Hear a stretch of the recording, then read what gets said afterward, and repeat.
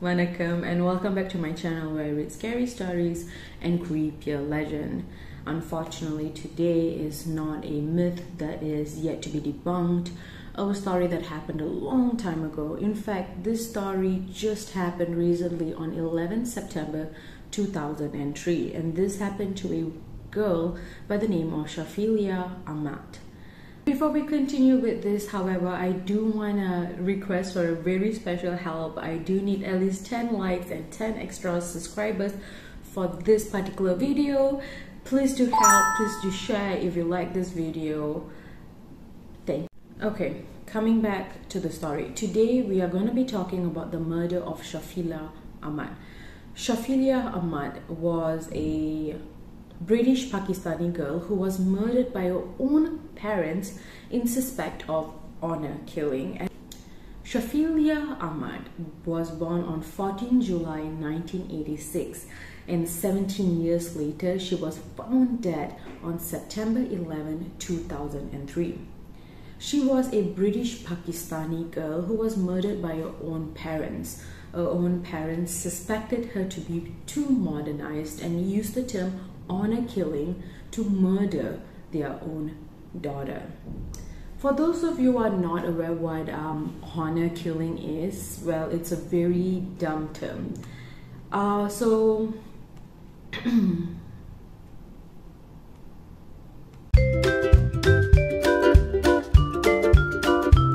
basically, honor killing is a stupid shit and it was created by people to control others i feel like you have an outsider or a family member or even a close friend who does something that you do not particularly agree with or does not agree with your culture perhaps you would go ahead and murder them in order to protect whatever that is important to you. So in this case um, of Shafilea Ahmed, her parents believed that she was too modernized and was going to bring shame to the family well, at least that's what the speculation is, and murdered their own child.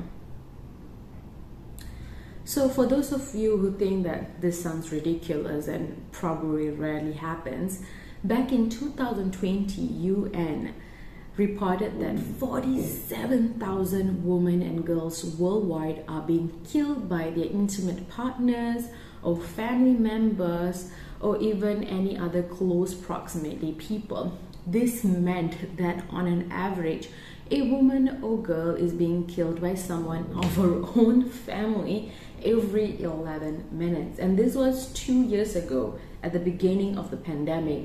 And it was no shock that a lot of violence against women actually increased during the pandemic period.